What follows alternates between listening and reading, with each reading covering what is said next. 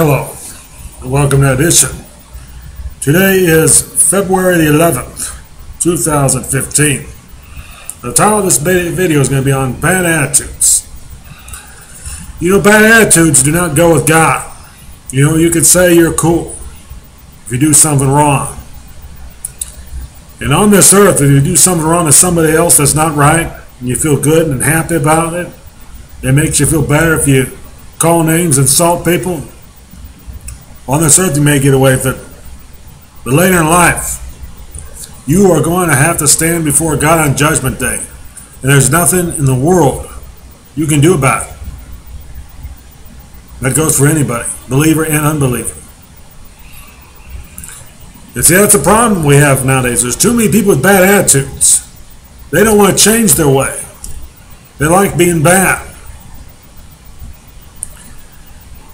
We live in a society nowadays where bad is good and good is bad. So true. By the way, the world has just gone not uphill, but downhill with the bad attitudes of our life. People want to follow the devil, not God. People want to follow the worldly ways of living. There's so many labels and games that's of the devil, not God, and other things of that nature. I was thinking, you know, right now as I'm talking to you, how people like stuff they're wrong. Such as a wrestler, Stone Cold Steve Austin, all he does is cuss. And because he does that rawness, people follow that. People like seeing other people flick each other off. They think that think of that as a joke. It's not a joke. It's not a joke at all. And if he was in wrestling in the 80s, that wouldn't go well with him. And most wrestlers are not Christians. And if some are, then it's hard for me to believe it. But we need to preach about God no matter what people say or think about us. Because God is the truth, God is the life. No one comes unto the Father but by me. And that verse makes a lot of us younger Christians mad because then it reminds us in our lives of our errors in our lives.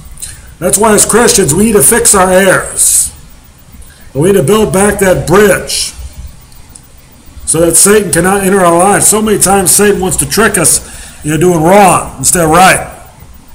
We need to avoid the devil and his attacks.